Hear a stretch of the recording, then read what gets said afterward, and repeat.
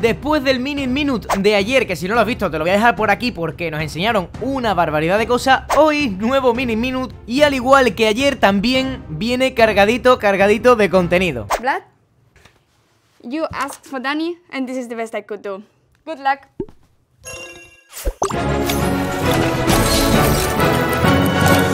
Items are coming to Clash. Pues como estáis viendo, efectivamente han llegado las estructuras a Clash Mini. Mucha gente lo ha estado pidiendo durante estos meses atrás de la beta. Pues aquí tenemos estructuras, eh, le han llamado Gizmos Que bueno, le llamaremos Gizmos si, si, si quieren que le llamemos Gizmos Pero bueno, eh, como veis son 10 y tranquilidad que ahora veremos cómo se desbloquea, cómo que, que, que bueno, ¿qué, qué, qué, es esto, Vlad? Por favor, me estoy poniendo nervioso. Bueno, la manera de desbloquear estas estructuras, estos gizmos, son mediante el camino de trofeos. A medida que vayas avanzando, irás desbloqueando estas estructuras, ¿vale? Hay algunas que estarán en la zona de plata, después creo que hay otras que están en la zona de oro y por último en la zona de diamante del camino de trofeos, ¿vale? A medida que vayas avanzando vas a ir desbloqueando progresivamente todos los gizmos, es decir, no tienes que pagar nada por tenerlos, ¿vale? Vale, y ahora me diréis, bueno, ¿y cómo se utiliza en partida? ¿Cómo se desbloquea? ¿Que, gasta elixir? Pues no, no gasta elixir. Bueno, para empezar, como veis, la interfaz también ha cambiado. Ya sabíamos que, que iban a cambiarlo todo visualmente Así que esto también está cambiado. Pero ya digo que nuestro interés ahora mismo está en los gizmos Están en la parte de arriba y no se utiliza elixir Sino que se utilizan estrellas de mejora. Es decir, cuando tú mejoras a un mini Ya sea de coste 4 de elixir, de 3 de elixir o de 2 de elixir Obtienes una estrella en ese mini y con eso puedes utilizar los gizmos. Como veis ahí hay algunos que se utilizan con dos estrellas, con cuatro estrellas, dependiendo de lo que haga cada gizmo, ¿no? Como veis ahí aparecen tres gizmos que van a ser aleatorios en cada partida No vas a poder elegir eh, cuál vas a querer usar, sino que te van a salir tres en cada partida aleatoriamente Y tú, dependiendo de tu, tu bueno, de tu mazo y de tu rival vas a poder usar uno u otro siempre y cuando lo tengas desbloqueado. Si lo tienes bloqueado, te aparecerá en gris y no lo podrás usar, supongo. Como ya he dicho antes, los gizmos aparecen aleatoriamente, son aleatorios por cada partida, pero en duelo los gizmos son los mismos para los dos jugadores. En cambio, en Rumble, eh, pues sí, la aleatoriedad va loca y cada uno tendrá tres aleatorios y podrá jugar pues con lo que tengan. En cuanto a la elección de los gizmos, nada más que de los tres vas a poder elegir uno y cuando lo pongas en el tablero se va a quedar en esa casilla para el resto de la partida. Aquí, carta en la mesa, pesa, que se dice. Y si alguno se pregunta qué es lo que pasa cuando eliminas los minis, ya sabes que los minis se pueden vender en partida. Y claro, las estrellas que has subido, pues ya las has vendido y te has quedado con el elixir. Pues el gizmo se queda en la pantalla, se queda desactivado, pero al menos se queda. No hace nada, pero sí que podría tanquear. O sea, no sé si sería buena estrategia, pues el, el coger estrellas y después vender a los minis y quedarte con el gizmo ahí, aunque no haga nada, y después subir otro. Bueno, bueno, en fin, estrategias habrá tela, ya os lo digo. Recordar que los gizmos no son mini, no son héroes y no hace falta matarlo para ganar la ronda. Como veis aquí, el pancake se ha quedado eh, intacto y aún así han perdido, pobrecito.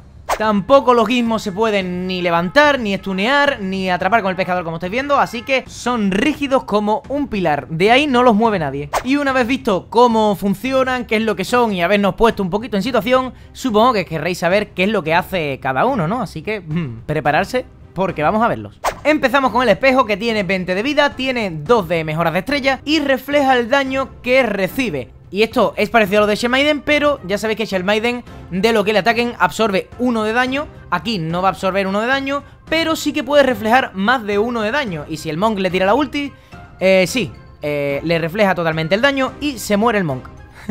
Hasta luego.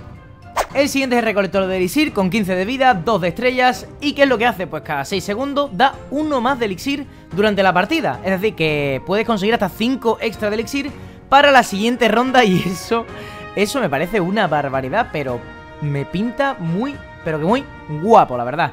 Pasamos ahora al caldero caliente que tras 8 segundos de calentamiento sale un bichito del caldero, un bichito de fuego que mete bastante. Concretamente el primer golpe mete 10, el segundo mete 8, el siguiente mete 6, así va bajando el daño de 2 en 2 hasta que meta 2 de daño. Y la verdad es que bastante rotillo, tiene 12 de vida y pues como veis también utiliza 2 estrellas.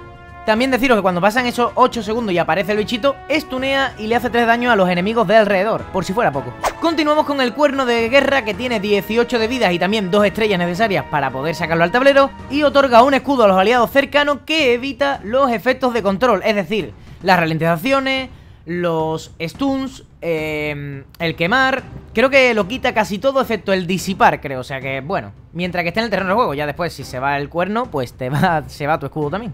Continuamos con el mega cohete porque sí, sí, lo han añadido a Clash Mini, el mega cohete de Clash Royale Está ahora también en Clash Mini. Tiene también 15 de vida y se, y se saca con dos estrellas. Y lo que hace, ya lo estaréis viendo ahí, pero bueno Es que después de estar cargándose durante 10 segundos Va dirigido hacia el objetivo con más vida Y hace 10 de daño a todo el mundo en un área que estáis viendo ahí que es bastante grande. Es decir, que el cohete desde que sale hasta que llega Pues bueno, si el mini en cuestión está moviéndose, incluso puede esquivarlo, ¿vale? Pero, pero sí, como impacte te destroza medio mapa, la verdad No es por nada, pero yo creo que el cohete se merece un like y que te suscribas, la verdad.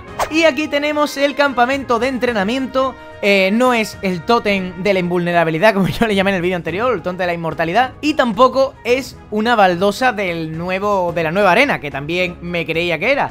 Sino que es otro gizmo que lo que hace es que cuando tú lo colocas a las dos unidades que coloque a su lado, a la derecha y a la izquierda, le va a dar uno más de daño durante toda la ronda hasta que, bueno, hasta que el gizmo se destruya.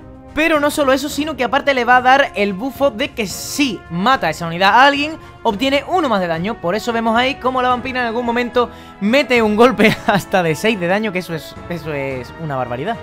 Y ahora toca hablar de la máquina de pancakes con 18 de vida, con dos estrellas necesarias para poner en el terror de juego y lo que hace es que va lanzando pancakes cada vez que se hagan, es decir, cada poco segundos, no sé si son más o menos 4 segundos o así, pues una vez esté listo el pancake se lo lanza al aliado más alejado que tenga. Y va curando creo que 4 de vida y aparte, ojo cuidado, le da también uno más de daño a quien le lance el pancakes, ¿eh? Mucho cuidado con la máquina del mini peca que eh, va a convertir a la gente en mini peca de verdad. Y ahora vamos a hablar de la Torre del Rey, como veis 28 puntos de vida y 4 estrellas necesarias para ponerla en el tablero. Y esta torre lo que hace, como bueno, se puede ver, tiene un cañón, supongo que disparará y efectivamente dispara. Algo interesante que tiene esta torre es que prioriza los gizmos de eh, tu rival. Primero se los destruye, destruye todas las torres y después mata a los mini y a los héroes A los gizmos también le hace un poquito más daño, creo que concretamente le hace 3 o así y a los héroes y minis eh, les pega 2 Así que bueno, una torre, digamos que esta sería como la básica, ¿no? Pero bueno, a pesar de ser básica, tiene más vida que todo el mundo y necesita más estrellas que todas las demás, o sea que... Bueno, aquí está. Esencial, si cualquier otro gizmo te está ganando la partida, pillas el King Tower y adiós su gizmo y adiós todo el mundo. El siguiente que vamos a ver es Mucho Puncho y tiene 22 de vida. También se, se utiliza con dos estrellas y este gizmo lo que hace es meter puñetazo a los minis y como estáis viendo ahí los echa para atrás y los estunea un poquito, ¿vale? Los estunea en torno a un segundito así y aparte los echa una casilla para atrás siempre que se pueda pues echar para atrás, ¿vale? Dice que pues se colapsan los minis y no se puede echar para atrás, pero me entendéis. Así que bueno, esta concretamente puede ser más situacional dependiendo de contra quién juegues y con qué mazo juegues y si quieres defender mucho o no a las tropas y si te interesa estunear y, y tal. Si no, pues bueno, yo creo que esta es un poquito más flojita que las demás, ¿eh? Bajo mi punto de vista, pero bueno en ciertas ocasiones yo creo que también puede estar bien. Y por supuesto, esta es la mejor torre para los enfermizos que solo buscan hacer mazos de stun. Pues aquí también tenéis, eh, pues bueno, vuestra, vuestra torreta preferida, supongo. Y para terminar, vamos a ver la sauna que tiene 15 de vida y 2 estrellas son las que se necesitan para poder jugarlo. Y lo que hace es guardar, digamos, tu primer aliado que se muera. Ahí en este caso se ha muerto la, la curandera espera 5 segundos y reaparece full vida con lo que dice ahí superpoder, que como estáis viendo se ve una yemita encima, pero no sé exactamente qué le da eso del superpoder, así que bueno, bueno, entendamos que sale más fuerte de cómo entra, ¿vale? Y ya está. Hombre, está claro, entrar en una sauna, ¿no? Relajado, sale seguro. Y bueno, también comentaros, aunque ya lo he dicho antes, pero muy de pasada, que como veis la interfaz en partida también ha cambiado y aparte hay cositas nuevas que se pueden ver por ahí, como por ejemplo la banderita esta que vemos a la derecha, que significa que ha ganado una ronda. Si hubiera dos banderitas, pues significaría que, lleva ya dos ganadas. Y justamente arriba de la banderita se ve como un bocadillo eh, con tres puntitos. Y yo me pregunto, ¿esto puede ser la opción para poner emojis, o sea, los emotes, los emoticonos, para poder reírte de la gente, para aumentar la toxicidad en este juego. ¿Puede ser ese botón el que haga que mucha gente tire su teléfono móvil por la ventana, incluso sin ponerlo en modo avión, por si acaso volara? Puede ser, ¿eh? Puede ser. No digo nada, no sé. Yo lo planteo por ahí. Decidme en los comentarios qué os parece. Pero vamos. Cositas. Y como siempre os digo, esto ha sido todo por mi parte. Yo espero que te haya encantado el vídeo de hoy. Muchísima información que había. Intento explicar también lo de los gizmos un poquito más rápido para que no se alargara el vídeo a 25 minutos. Pero bueno, ya más adelante estaremos viendo mejor qué es lo que hace cada uno, porque de todas maneras los valores de los números pueden cambiar y todavía no es definitivo. Pero, eh, pues bueno, aquí está la explicación de todos los gizmos, de todas las estructuras, también de todos los cambios, de todo lo que nos han contado en el segundo mini minute. Hay un total de 4 mini minutes que nos tienen que contar. Así que, hombre, si te quieres enterar de todo, pues ya sabes, dale like, suscríbete, compártelo, coméntame cualquier cosa. Y pues nada, pues nos vemos en el siguiente vídeo. Muchas gracias y adiós.